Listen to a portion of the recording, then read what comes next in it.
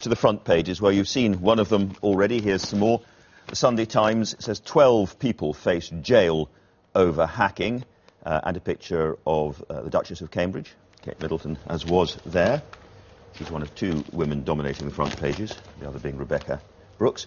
Uh, the Observer, Ashdown. I warned number 10 about the huge danger of hiring Coulson, Paddy Ashdown, the latest of the people coming forward saying that he'd warned David Cameron about that. The Independent on Sunday, War of the World, uh, about the future of the News International. There's the other woman dominating the front pages, uh, Rebekah Brooke there. And the Mail on Sunday, Blair, Blair bid to silence MP who exposed Murdoch. If we should say that Tony Blair says that's not true. Kate Middleton again. And there's Rupert Murdoch. Murdoch's troubles only get worse, says Scotland on Sunday. A rather odd story in a sense. It says the Church of England is threatening to pull millions from the News, News Corp over scandal. I think many of us didn't realise the Church of England was spending millions of pounds in newspapers. Anyway, Fraser Nelson and Amanda Platell, welcome to you both. Thanks for coming in. Um, Fraser, you've been a columnist for a long time on the News of the World. Mm -hmm. Um, so let's start with you and that final historic edition. Yeah, I've got the very first issue of the News of the World up on my wall at home, and it's funny to be holding the very last one here. And I think they've done it brilliantly. They've just shown all these incredible front pages, which have kind of punctuated British history, actually. When you walk into the News of the World, they've got them all up on the wall. And it just reminds you that this is the most successful newspaper the world has ever known. Nobody has, at its peak, it sold 8 million. Nobody's mm. ever done more than that. And it's funny, when newspapers die, normally they run out of readers, run out of money. This is really quite something this else. This has never happened before that a proprietor has closed a successful newspaper. No, because there's always the view that you can, you can basically cleanse brands, you can mm. change editor, change ownership, bring them back again. So it just shows how serious that Rupert Murdoch takes this. He sees it, obviously, as a kind of threat to his global empire, and he wants to send a message to everybody in Beijing, etc. If you um, screw up like this, you will pay the price. But nobody can quite believe you know, uh, the commercial audacity. But he's not a sentimental fellow, is he? clearly not. Well, clearly not. But the funny thing is, it's difficult, certainly as a journalist, not to be sentimental sure. about, you know, this this incredible newspaper and all the good that it's done, which mm. is something nobody will listen to at the moment. Such are the scale of the sins of the private investigators. And, you know, for those journalists who were involved in the paper, this is the great irony all these bad things were done by the men in raincoats, the PIs, who were at the end of a phone, who would do all sorts of methods. But, all, but also authorised by the people right at the top, yes. many of whom are still there, and that was unlike a huge, the journalists. Yeah, that was a huge mistake for which the news, newspaper has paid with its life. Amanda. It is, I mean, it is incredible. If, if it's true that there's £100,000 that was going to these private investigators every year, I mean, you know, as a former newspaper editor and executive, you don't just, £100 has to go through the books, you yeah. know. It has to be seen by executives at some level. Mm who they are, who knows.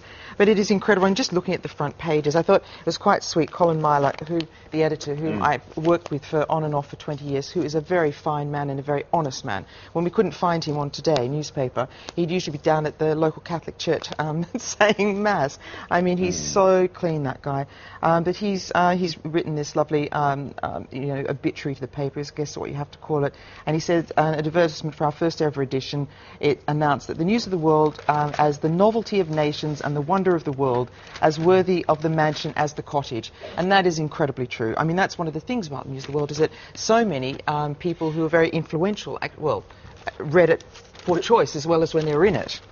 What jumps out to you when you they've reprinted the first page here it's inside, it? and it gives you the mission statement, which was exactly the same as it is today. A paper it says which will have enough intellectual caliber to engage the rich because they want to know simply mm. by the sheer number it sells amongst the poor. This is the kind of paper they want to be read in Buckingham Palace and down the pub, and it still and it was. was. Yeah. And it actually was. What I was struck by, uh, you know, going through it was um, the, the, the, what, there's not a great deal of contrition about the recent events and a sort of sense. I mean, of course, it's written for their readers. Mm -hmm.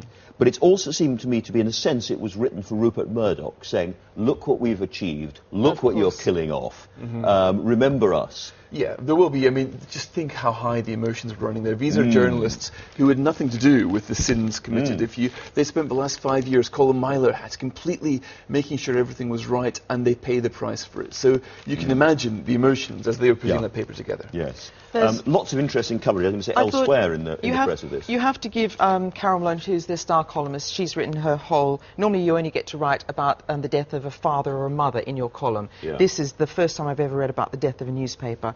And she puts it really succinctly here. She says, This red top monolith has been a life force in Britain journalism, and love it or hate it. No politician, no crook, no pervert, no celebrity, no corporation has ever been able to ignore it. And, and that Mm. was true. And that's why, despite the terrible things that happened and the ghastly things over Milly Dowler, the hacking, it is Yeah. it is a sad day for. for Okay. Now, I said, um, you said that journalists are sentimental, and so journalists are, but also it's a ruthless trade, and you can you can pick that up from some other front pages. Look at this. This is incredible because, of course, you have suddenly there are as uh, you know there are um, seven million readers out there who some of them will want a, another Sunday newspaper. So what does the Daily Star do? Wills to be Beckham's godfather. Oh yeah.